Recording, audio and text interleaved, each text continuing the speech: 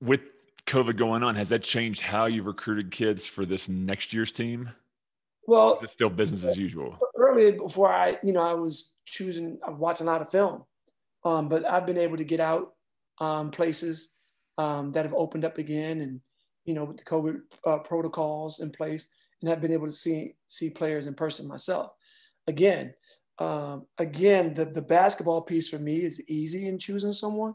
It is the the what I've been able to do still is when people tell me that yeah, this they're this kind of teammate, they're great teammate. I'm going to games, I'm watching that. I'm not watching if they can play or not. I'm not going to go watch them if I didn't think they could play. I'm, I'm watching all the other stuff. Are they going to be a teammate? Are they going to allow me to coach them? Are the people around them who I'm watching in the stands are they going to allow me to coach them, or are they going to coach them? You know, I'm watching all that stuff. I think that's one of those soft skills kids just need to have beaten their heads over and over again. That it's not about how many points you score. I really think that's 90% of it. They think they think what that's what does it when everyone else knows, experts like yourself, that it's all the other soft skills too that come into place. And that that passionate parent in the crowd can really be a hindrance too sometimes. That bad body language, that going to the end of the bench and not clapping for your teammates, not listening in the huddle, all that right. stuff is just important to guys like you. Well, think about it, Cory. You, you you know these schools up here. You know this league, you know, and the teams I play against this will be the first time the guy's going to sit on the bench too. Some, mm-hmm. you know, you have guys in, in a normal high school game who are playing like, you know, I guess regular high school plays 36 minutes. We play 40, play college level games, right?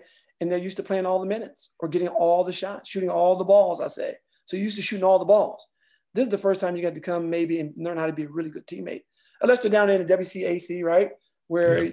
you know, it's the same type of type of environment that um, not this, this I always say, this isn't the place for everyone.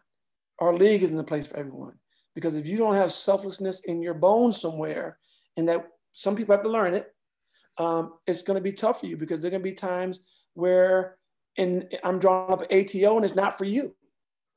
And you're the best player, but it's not for you because you're not playing well or you've missed your last five threes. Does it make sense for us to run that for you or run it somebody's going to make a shot because we're trying to win? And that's the biggest part about, um, I think, when you come to places like this, is that you have the ability to teach kids how to win. Because the, the two of the hardest things at the college level to teach and, and goes from there to the NBA is one, teaching players how to play really, really hard. And the other thing is how to win. Mm. When I go and watch a lot of the high school ki- kids that I recruit in AAU, I'm looking for kids who know how to win because I'm going to teach you the rest. I'm going to get your skills right. But do you want to win or do you want to just see your name? And that's that's the biggest deal. And and and on on the front and the back of the jerseys, your name's not going to be on there when you're here. It's about the team.